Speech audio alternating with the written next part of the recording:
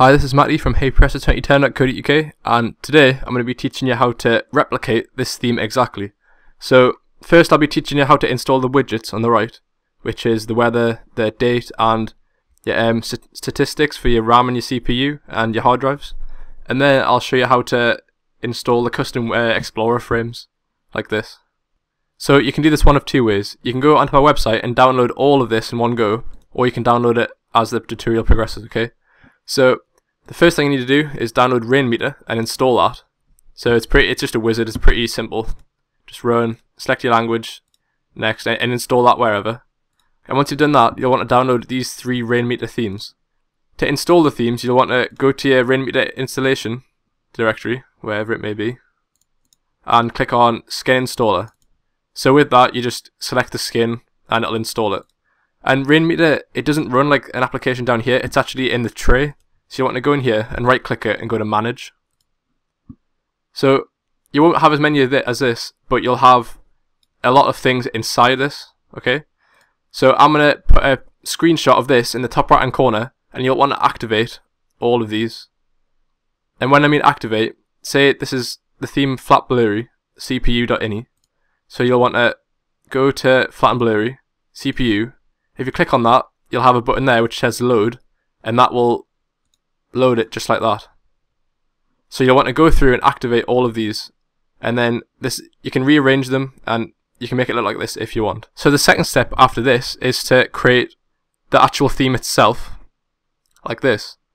Um, before you actually install the theme, you'll want to download Universal Theme Patcher, and open that. And you have a 64-bit or 32-bit, so I'm 64-bit, so I'll open that and click OK. Click yes. So you'll have three things with here which says patch. So you want to click that. I don't have that because I've already patched it. And that's all you need from that. And then after that you'll have the theme, okay? So to install the theme, you want to go to computer, you want to go to your C drive, Windows, resources, and then themes. So you won't have all this, just ignore that. You'll want to go to the theme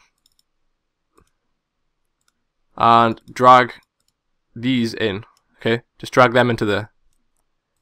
And then you want to right click, personalize, and you can select the themes down here.